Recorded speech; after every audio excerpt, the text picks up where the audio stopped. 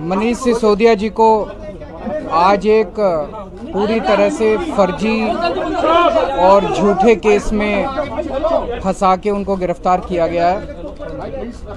मनीष जी एक ईमानदार, देशभक्त और साहसी व्यक्ति हैं, जो 24 घंटे देश की सेवा में लगे रहते हैं। पूरा देश देख रहा है कि किस तरह से उन्होंने गरीबों के बच्चों को अच्छा भविष्य देने के लिए उन्हें अच्छी शिक्षा देना शुरू किया था? पिछले 75 साल में शायद ये पहला शख्स है जिसने हर गरीब के घर में एक उम्मीद जताई थी। रिक्शे वाला मजदूर, किसान, गरीब आदमी, कि उसका बच्चा भी बड़ा हो, कि उसको अच्छा भविष्य मिल सकता है। सरकारी स्कूलों का कायाकल्प किया था। एक शरीफ आदमी है, मनीष। उनको आज इन्होंने गिरफ़्तार कर लिया।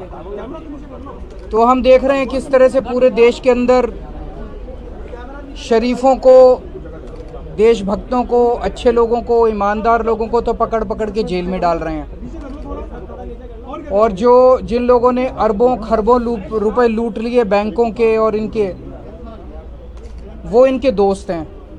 उनके खिलाफ कोई एक्शन नहीं होता, वो खुलेआम घूम रहे हैं। उनको नोटिस देने की भी हिम्मत नहीं है लोगों की, क्योंकि वो इनके दोस्त हैं। पूरा देश देख रहा है, लोग देख रहे हैं, और लोग ही इसका जवाब देंगे। मैं और मान साहब अभी उनकी वाइफ से मिलके आ रहे हैं। उनकी वाइफ को काफ़ी सीरियस बीमारी है मल्टीपल स्क्लेरोसिस जिसमें ब्रेन जो है वो धीरे धीरे ब्रेन का कंट्रोल बॉडी के ऊपर ख़त्म होता जाता है। मनीष के जो बेटे हैं वो अभी बाहर पढ़ रहे हैं तो उनके घर में अकेली हैं वो। और मनीष जी उनका ख्याल रखा करते थे। पर हमने उनको सांत्वना दी है कि, कि चिंता करने की बात नहीं है। आपके पति बहुत साहसी हैं देश के लिए लड़ रहे हैं। देश को पूरे देश को मनीष जी के ऊपर गर्व है। और हम सब एक परिवार की तरह हैं और सब उनका ख्याल रखेंगे। अरविंद जी अरविंद जी। एक मिनट, एक मिनट। देश के एक क्रांतिकारी शिक्षा मंत्री के तौर पर जाने जाते और आप ही के भाईचारे से एक पत्रकार होते हुए अपना सारा कैरियर छोड़कर आम आदमी पार्टी के फाउंडर मेंबर मनीष सिसोदिया जी को आज इन्होंने एक झूठे केस में गिरफ़्तार किया है।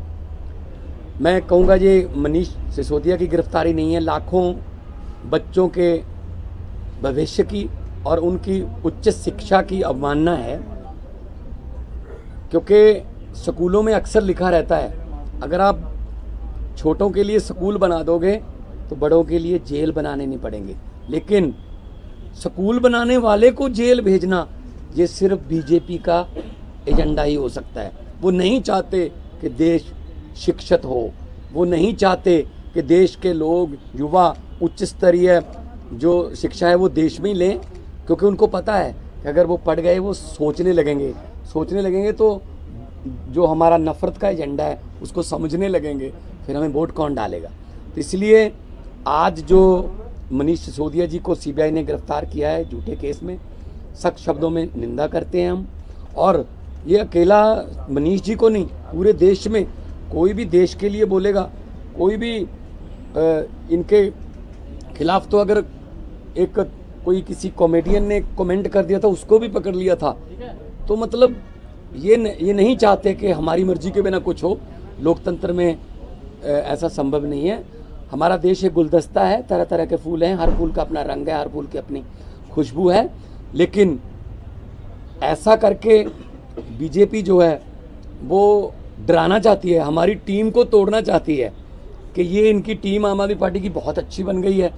ये गुजरात में भी गए, वहाँ तेरह परसेंट वोट लेके आए।